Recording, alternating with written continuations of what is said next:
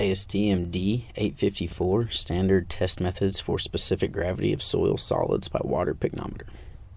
By definition, the ratio of the mass of a unit volume of a soil solids to the mass of the same volume of a gas free like distilled water at 20 degrees C. The equipment used for this lab are as follows two pycnometers of 250 milliliters, or the 500 milliliter capacity, a balance with a readability of 0.01 grams, a thermometer with a reading of 0.1 degrees Celsius, de-aired water, a funnel, and a bowl. After recording the labels of your two pycnometers, determine and record the mass of the two dry empty pycnometers.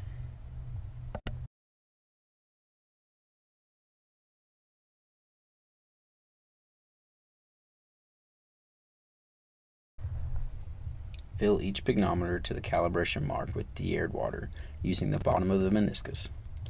Dry any water beads on the inside of the stem above the calibration mark or on the exterior of the pycnometer using a paper towel. Measure and record the mass of each pycnometer with water.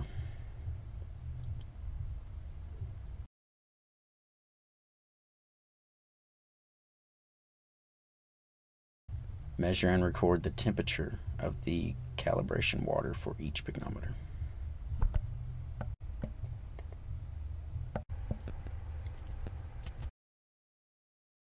Add soil to the pycnometer using the funnel.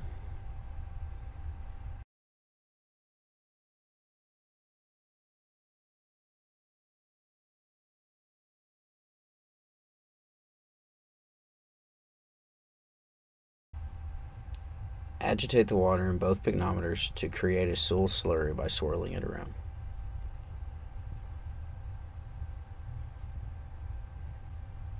Rinse soil particles adhering to the inside of the pycnometer using the water.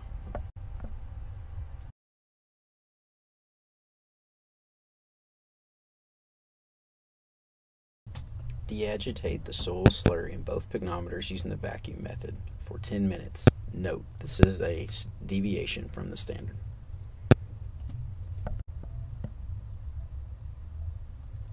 Dry the inside of the stem and the exterior of each pycnometer. Measure and record the final mass of each pycnometer with the soil and water. Measure and record the test temperature of the water.